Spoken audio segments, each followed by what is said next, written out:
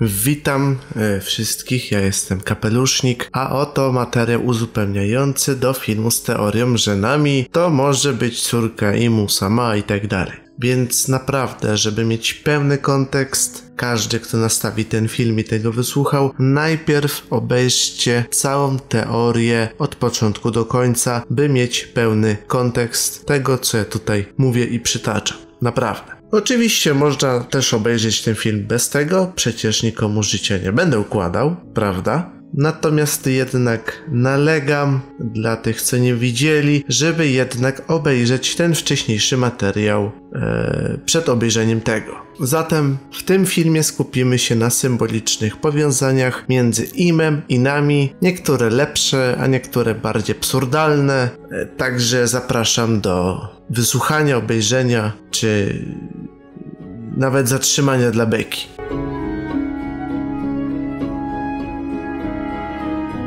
Pierwsze powiązanie to będzie totalny absurd, ale jednak go użyję, żeby nikt mi nie zarzucał, że umyślnie coś pomijam, a dla niego może być ważne, czy coś takiego. No i przy okazji może się pośmiejecie.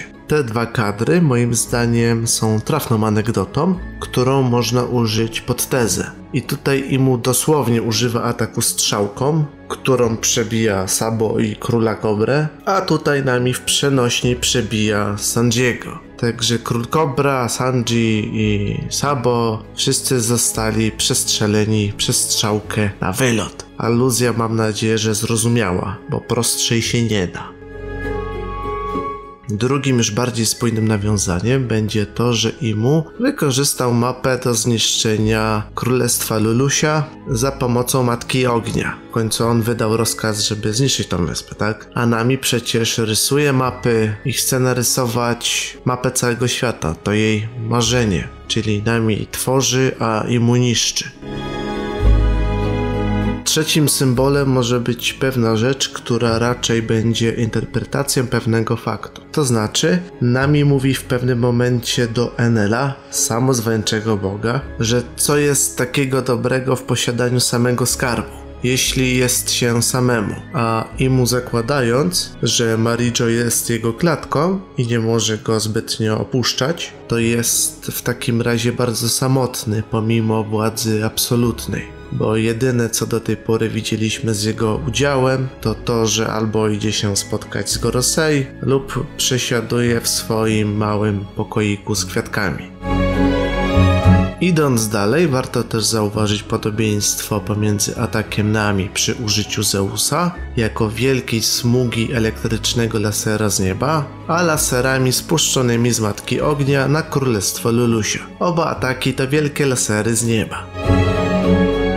Teraz pora na coś z bardziej absurdalnych rzeczy, czyli w rozdziale 9 możemy w pewnym momencie zobaczyć za nami obrazek, na którym znajdują się Słońce i Księżyc. Czyli by wychodziło na to, że Luffy reprezentuje Słońce, a Imu Księżyc. I ogólnie tytuł tego rozdziału to w ogóle Zła Kobieta w tłumaczeniu. I w tym samym rozdziale nami zdradza Lufiego, czyli San Goda Nike. I uwaga, bo to będzie gruba nadinterpretacja, ale osobiście myślę, że to może być anegdota do tego, co się działo między Joyboyem a Imu w przeszłości. Czyli Imu najpewniej zdradził Joyboya, jak już mogę wspomnieć kilka razy na kanale, albo Joyboy Ima, czy ogólnie to może być nawiązanie do tego, że byli kiedyś przyjaciółmi, a Imu poczuł się zdradzony czy coś takiego, bo na przykład Lily wolała Joyboya od niego, jak zresztą też nieraz wspominałem. Interpretacja mocno przesadzona i bardzo luźna, lecz moim zdaniem Oda cały czas coś sugeruje, że pomiędzy Joyboyem a Imu zaistniało coś absurdalnego, co doprowadziło do wojny pomiędzy starożytnym królestwem a resztą państw. I dlatego jak Roger poznał prawdę na Raftel, to się przecież śmiał,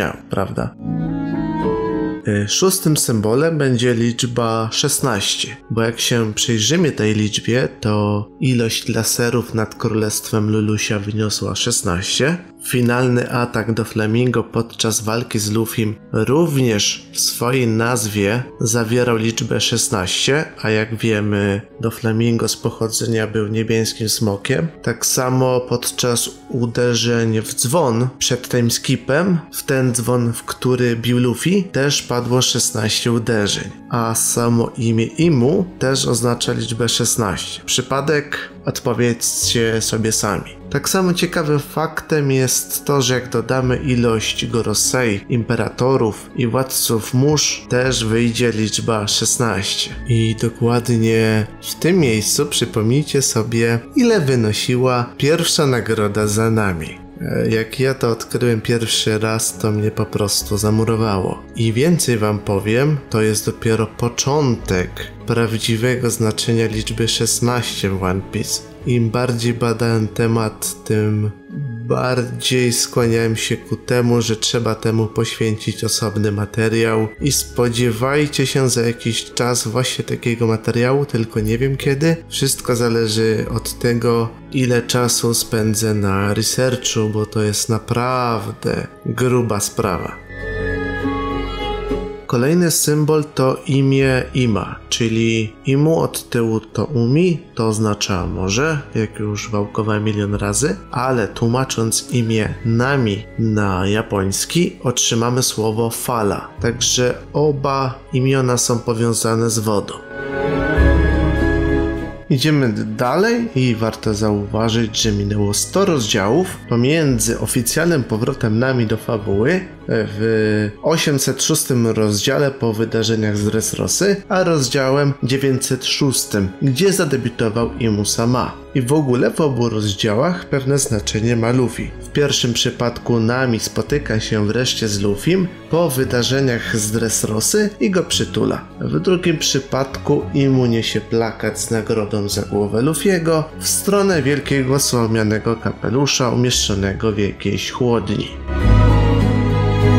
Coś, co warto zauważyć, to to, że król Kobra podkreślił, iż pogodą sterują bogowie. Tytuł rozdziału 191 posiada nazwę Kobieta, która kontroluje pogodę. I to też jest y, pierwszy rozdział, gdzie Nami używa klimataktu a sama Nami bywa nazywana również wiele razy w serii boginią. Plus Oda pomiędzy wierszami często ją nazywa królową pogody. A jak wiemy, Nami też jest świetnym nawigatorem i nawet gdy była chora potrafiła wyczuć zmianę pogody. Przypadek? Nie sądzę. Natomiast Imu jest człowiekiem rządzącym w zasadzie światem, skoro steruje światowym rządem z ukrycia. Jeżeli weźmiemy na tapet powiązania liczne między Imu i kobietami, i to, że żyje w samotności, to być może szuka on żony, tej jednej, jedynej, która by mu zastąpiła utraconą miłość w postaci Lili sprzed lat. Także może Oda sugeruje, że nami może być tą wybranką przyszłości, takie sygnalizowanie. Także ja sam często przypuszczam, że Imu jest samozwańczym bogiem, także ja nie wykluczałbym jakichś opcji w stylu, że nami, czy bądź inna kobieta faktycznie jest obiektem poszukiwań Imu. Niekoniecznie musi być ona jego córką, prawda? Stąd liczne powiązania symboliczne, jak i fabularne pomiędzy Imu a kobietami.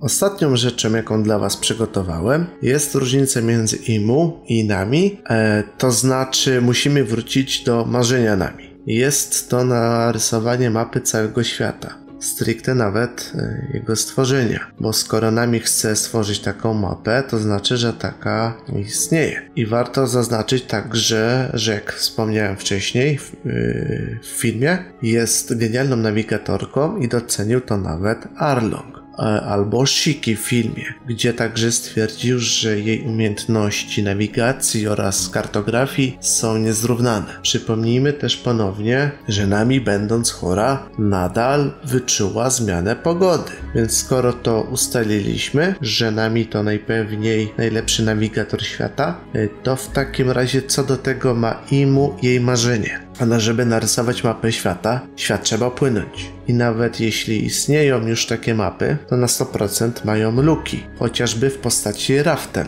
na którym była tylko ekipa Rogera. Poza tym to nie muszą być jedyne luki w znanych mapach świata tego uniwersum. To znaczy nami musi sporządzić jeszcze mapę wysp, które teoretycznie nie istnieją lub zostały wymazane z kart historii i co ciekawe nami już coś takiego raz robiła podczas sagi z Enelem, gdzie nami zrekonstruowała oryginalną mapę Jai, bo jak wiemy część wyspy została wystrzelona parę wieków temu w powietrze prosto do Skype. Do pustych miejsc e, na oficjalnych mapach świata również należy obecnie God Valley, które rząd wymazał, czy od niedawna Królestwo Lulusia, które Imu kazał osobiście zniszczyć. Być może wymazanie Lulusi jest początkiem działań Imu, bo jak wiemy, Sabo jednak uszedł z życiem i już powiedział o wszystkim, co go spotkało na Reverie Dragonowi i Iwie, więc info o Imu idzie powoli w świat.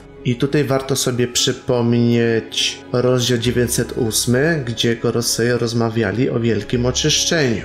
Być może światowy rząd już po pustym wieku lub w jego trakcie jak właśnie gdy już wygrywali wojnę, to dokonał już podobnych rzeczy w przeszłości, wymazując masę wysp oraz miejsc z istnienia, powodując właśnie puste miejsca na mapach. A jak się powtórzę po raz enty, Nami chce narysować mapę świata. Zatem marzenie Nami jest przeciwieństwem działań Imu. Więc gdyby Nami spełniła swoje marzenie, cofnęłaby w takim razie jakiekolwiek wymazanie wykonane przez światowy rząd. Nawet jeżeli dawnych wysp nie da się już odratować, to można pokazać światu, że y, ukrywane miejsca przez rząd istnieją, a tajemnicza wyspa Raftel też znajduje się gdzieś gdzieś tam na świecie. Poza tym marzenia Robin i Nami się uzupełniają. Pełna historia pustego wieku jest ukryta na wszystkich poneglyfach rozsianych po świecie, prawda? Więc słomiani muszą serio opłynąć pełen glob, by poznać pełną prawdę. A Nami by przy okazji narysowała mapę świata ze wszystkimi miejscami, do których się udali i które światowy rząd niekoniecznie chciałby zobaczyć na oficjalnych mapach bo warto się zastanowić, czy też nie ukrywają jakichś wysp, o których my nawet jeszcze nie mamy pojęcia. Więc podsumowując, nami jest kluczem do cofnięcia wielkiego oczyszczenia planowanego przez rząd i zapewne złamie światowe tabu, upubliczniając prawdę o wielu niewygodnych faktach na ich temat w postaci realizacji swojego marzenia. A jej świetne umiejętności nawigacyjne pozwolą na realizację tego ów marzenia, przeciwstawiając się woli imu w postaci wymazywania niewygodnych dla niego faktów. Także Ben Kapelusznik to był trudny i dziwny film. Z pewną dozą pewności mogę powiedzieć, że także z lekka kontrowersyjny. Natomiast bardzo jestem ciekaw Waszego zdania, więc piszcie komentarze. No i to chyba tyle. Na razie.